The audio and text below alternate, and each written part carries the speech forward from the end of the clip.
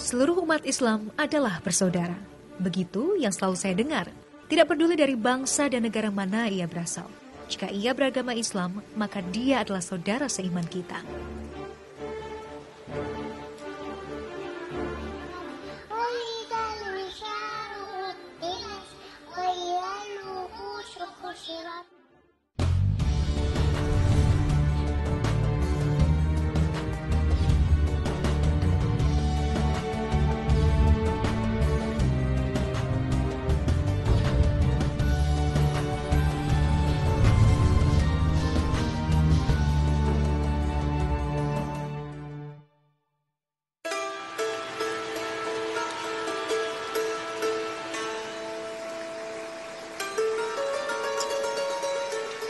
Kata-kata yang tersimpan di benak itu semakin terasa nyata saat saya datang ke Komutini, salah satu kota yang menjadi basis komunitas Muslim Yunani.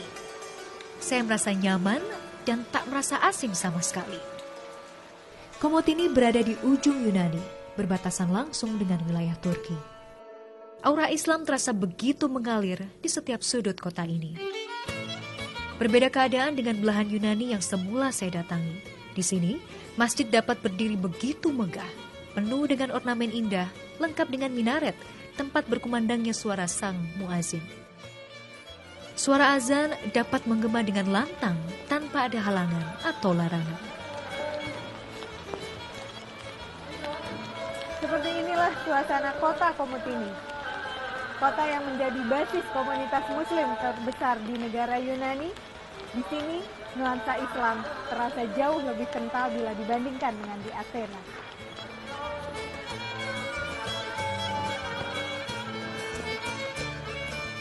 Di kota ini, peninggalan Islam tidak hanya identik dengan bangunan, namun aturan Islam diterapkan dalam setiap unsur kehidupan. Itulah sebabnya para lelaki mengenakan peci dan kaum wanitanya memakai jilbab.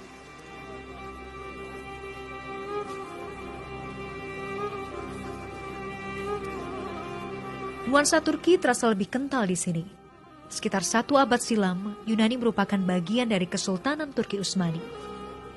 Keterikatan emosional itu rupanya masih tertanam begitu kuat dalam kehidupan Muslim di Komutini.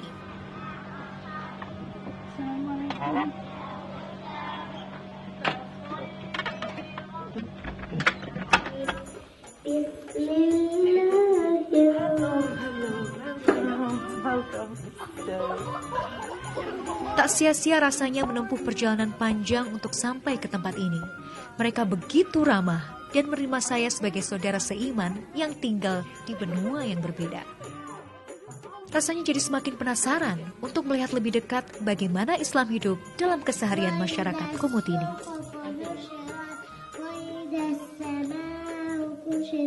Rahmah, gadis kecil lucu dan lincah ini adalah putri sang guru mengaji, Sumaya. Usianya baru empat tahun, tapi kecintaannya terhadap Al-Quran rupanya sudah tertanam sejak kecil. Ini Rahma, umurnya baru empat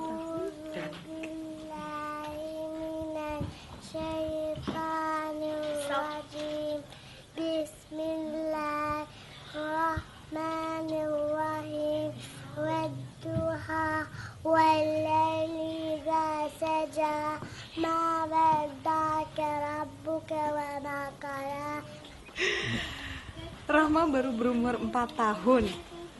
Dia dilatih untuk menghafal dan mengetahui arti dari setiap surah yang ada di Quran. Diperkenalkan sejak umur 3 tahun.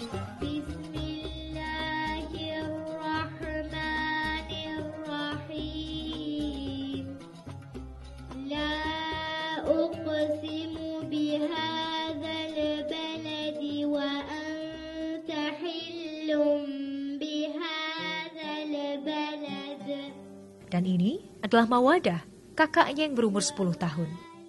Ia sedang memperbaiki hafalan surat pendeknya.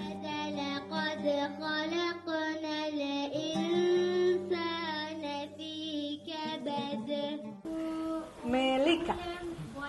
Kul huwallahu ahad. Kul huwallahu ahad. A'udzu billah. A'udzu billahi minasy syaithanir rajim.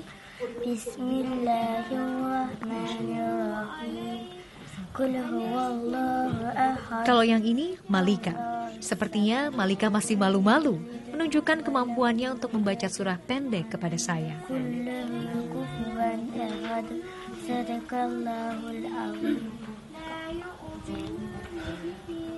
Menyenangkan bagi saya bisa mendengarkan eh, surah dibacakan begitu sempurna. Anak-anak ini bukan cuma sekedar menghafal surah-surah pendek, tapi mereka mengetahui bagaimana membacanya dengan tajwid yang sempurna, bagaimana setiap huruf keluar da- dari bagian mulut yang berbeda. Saya bisa merasakan betapa bangganya para ibu yang melihat kemampuan anaknya. Selama ini, mereka selalu mendampingi aktivitas mereka dengan penuh kesabaran. Bagi mereka, anak adalah cerminan keluarga, dan sudah menjadi tugas seorang ibu mendidik yang terbaik bagi anaknya.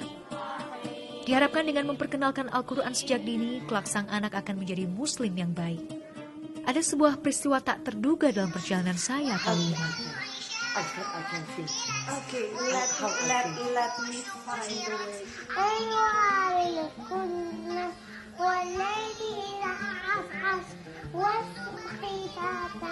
Saya benar-benar percaya bahwa Al-Quran menyatukan umat Muslim, walaupun berbeda benua, kami bisa dihubungkan begitu dekat dengan cara yang tidak terduga melalui sebuah peristiwa sederhana ini. Rahmat ternyata begitu mengagumi Kaisa, seorang hafiz cilik dari Indonesia, yang ditemukan secara tidak sengaja melalui media internet oleh sang ibunda. You very much Thank for this program uh, from Indonesia. Yeah, yeah, yeah, We are very, very uh, like, and Rahmat likes very, very much. Yeah. She is sleep, sleeping with Kaisa. Yes. She wake up. Wake up also with Kaisa. yes. She say me, Yeah. uh, mother Kaisa. In the phone, I listening Kaisa. Kaisa. Subhanallah. Subhanallah. Sejak menemukan Kaisa, gadis kecil ini begitu senang dengan metode hafalan Al-Quran ala Kaisa yang disertai isyarat sederhana yang menjelaskan arti setiap kata. Subhanallah, dari penuturan ibunya, ternyata hampir sepanjang hari, Rahmat tidak bisa dilepaskan dari video Kaisa ini. Ini merupakan suatu hal yang sangat menarik. Jadi saya pertama datang ke sini sedikit bingung melihat bagaimana Rahma memperagakan semua yang ada di dalam surah. Saitonir rojim, Allah, Ahmin, Ahad, Mau'ud. Jadi Rahma mempelajari ini semua melalui satu program di Trans 7 namanya Hafiz. Jadi memang program ini spesial memperkenalkan anak-anak kecil yang menghafal Quran dan maknanya dengan cukup baik. Subhanallah, program Indonesia bisa mencapai syiar hingga ke Yunani. Subhanallah. Subhanallah.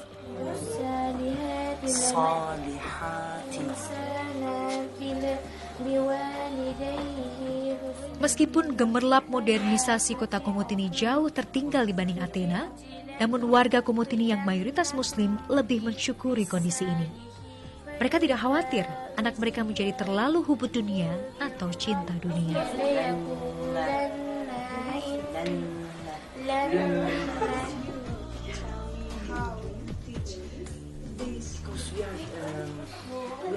in the Greece and the Muslims little, but Alhamdulillah, uh, the mothers and the childrens uh, coming in this Moscow four days in the week and mashallah we are meaning and I have uh, other lesson uh, with women. This is tafsir. Yeah, it's very very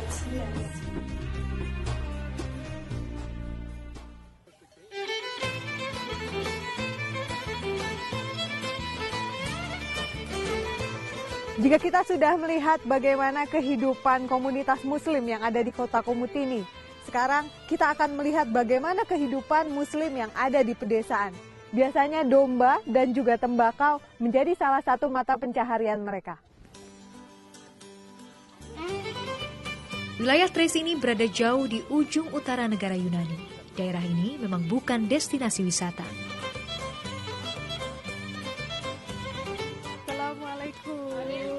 Marhaba. Hoş geldiniz, hoş geldiniz. Marhaba. Kehadiran saya membuat mereka ingin tahu. Para wanita ini begitu ramah kepada saya. Mereka penasaran dari mana saya berasal. Ah, Indonesia. İyi misin, iyi misin? Ini sih İyi misin?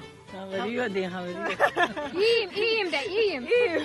Ini jadi kalau di pedesaan di Komotini berbahasanya itu sudah bukan lagi Greece, bukan lagi bahasa Yunani, tapi lebih identik dengan bahasa Turki. Ini ada sedikit miss, saya tidak mengerti. Mereka bilang, ini sim, İyi misin? eh, Hanida. Kalaysa elini kakseriz. Aduh, ini jadi saya semakin tidak mengerti. Tapi bagaimanapun, eh, marhaba. Merhaba. Assalamualaikum. Waalaikumsalam. Sayangnya keterbatasan bahasa tidak memungkinkan kami berkomunikasi dengan lancar. Komotini adalah rumah bagi minoritas muslim berbahasa Turki. Biasanya para penduduk Komotini akan berbicara bahasa Turki dengan sesama muslim dan berbahasa Yunani dengan non-muslim. Meski demikian, mereka hidup dengan harmonis di Komotini. Saul. Hadi güle güle. Masalama, masalama. Hadi Güle güle. Gula gula, gula gula. Sayangnya warga Komotini ini tidak terlalu makmur. Roda ekonomi terasa lebih lambat, layaknya sebuah wilayah pedesaan yang terpencil.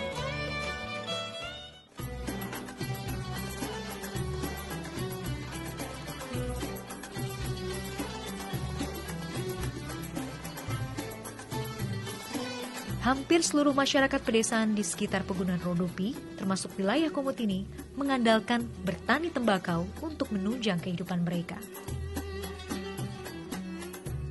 Sebagian besar wilayah perkebunan ini rata-rata dimiliki oleh setiap kepala keluarga secara turun-temurun sejak zaman kakek nenek mereka.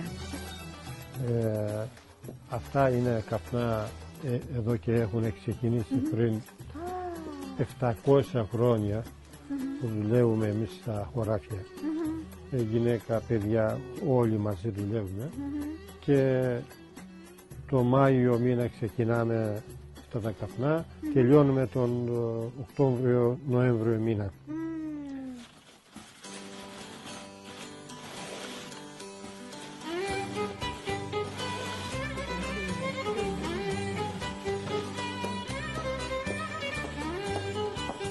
Hussein Ali Karpus adalah salah satu generasi keluarga petani tembakau yang hidup di desa Pasus. Usaha tembakaunya adalah warisan dari sang orang tua secara turun-temurun. Meski menjadi petani tembakau adalah mata pencaharian yang sulit, namun seperti warga desa lainnya di kawasan pegunungan Rodopi, mereka tidak memiliki pilihan lain untuk menyambung hidup. Untuk dapat menikmati hasil dari bertani tembakau, perlu waktu setidaknya satu tahun untuk menunggu musim tanam hingga panen dan penjualan. Oke. Jadi inilah yang tadi saya bicarakan, mayoritas masyarakat muslim yang tinggal di desa-desa di sekitar Komutini bermata pencaharian sebagai petani tembakau. Di musim dingin atau winter saat ini, mereka memang sudah selesai melakukan proses pemetikan atau panen dan juga pengerikan yang hanya dilakukan di musim panas. Wilayah ini memiliki produksi tembakau berkualitas, namun para petani tidak bisa dengan mudah menjual stok panen mereka. Wilayah ini merupakan perbatasan. Pembeli yang datang dari berbagai negara hanya bisa membeli tembakau komotini dari tangan kedua, semacam tengkulak atau pengepul. Keluarga ini memang hidup sederhana dan jauh dari kemewahan. Namun harta bukan segalanya bagi mereka. Ya, proses pak sudah selesai. Ini sudah tiba waktunya untuk sholat asar. Ibadah sebagai seorang muslim adalah kewajiban yang tidak bisa ditunda dan digantikan. Bila tiba saatnya sholat, pekerjaan apa pun akan ditinggalkan.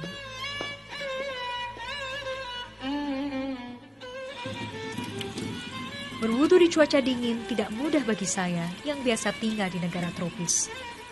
Meski salju belum turun di wilayah ini, namun udara dingin yang berhembus terasa menggigit kulit.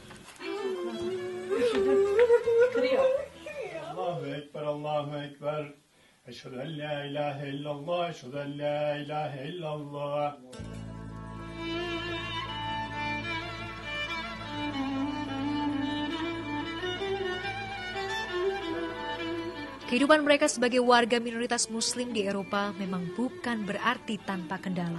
Namun mereka tidak gentar berjuang di jalan Allah sebagai muslim sampai akhir hayat.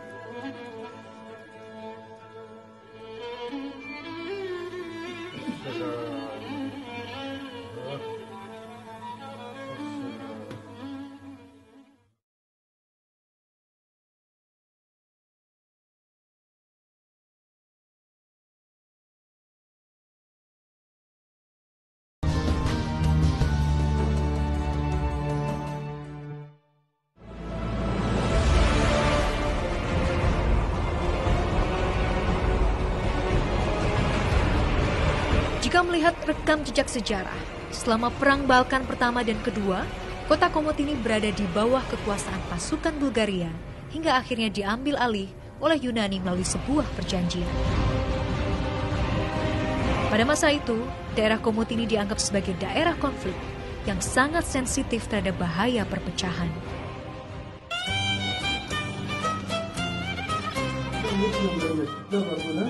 Topkapı'da bir fotoğraf düzenleme var ya, aynı programı devre falan vesaire. Gene şey, etkilikte yani Namun kini situasi telah berbeda. Suasana Komotini jauh lebih aman, meski gerak laju ekonomi warganya lebih lambat bila dibandingkan ibu kota negara. Ruang gerak kaum muslimin pun kini lebih luas. Umat Islam menyebarkan dakwahnya, salah satunya melalui media radio.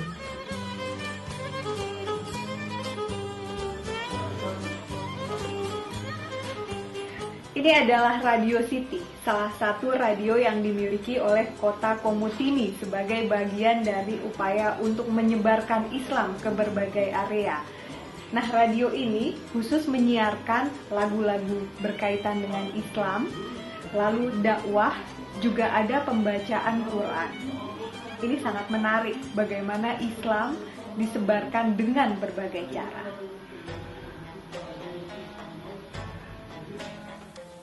Hasan Kaçaman. Yani saat 3'te öğrete, namaz vakti. Çok sıkıcı oluyor ya. Şimdi bak Radio City mulai mengudara pada tahun 1992. Luas cakupan wilayah siar radio ini di sekitar kota Komotini dan wilayah pedesaan di sekitar pegunungan Rodopi. Saya boleh masuk ke ruangan ini. Assalamualaikum. Aleyküm selam, selamat datang. Welcome, welcome, welcome Indonesia. Apa kabar? Baik, alhamdulillah. Baik. Everyone is okay? Iya, everyone. Convoy my salam to all people. We respect, thank you very much. You come to here and meet us. We are became very happy. So, Mr. Halil, Halil Ibrahim, could you explain what the purpose of this Muslim radio? Gayesi ne? Ee, isterseniz ben e, Endonezya'dan buraya geldikleri için teşekkür ediyorum radyomuzu ziyaret ettikleri için. Radyomuzun ismi Radio City. Ee, Radio City 1992 yılında kuruldu. Ee, kültürümüzü, dilimizi e, yaşatabilmek için, birbirimizle iletişim kurabilmek için bu radyoyu e, açtık. 23 yıldan beri de aynı e, halde devam ediyor ülkemizin kanunları çerçevesi içinde. Sejak awal didirikan, radio ini bertujuan untuk memberikan dan berbagi informasi mengenai budaya, berita, dan hiburan yang bernuansa Islam. Tak hanya itu, terkadang radio ini juga membuka ruang bagi para pendengarnya untuk berbagi cerita ataupun berkonsultasi untuk menyelesaikan berbagai masalah yang berhubungan dengan syariat Islam. Berbagai bentuk acara yang berkaitan dengan Islam menjadi menu acara di Radio City. Semua dengan satu tujuan, untuk syiar Islam ke pelosok negeri.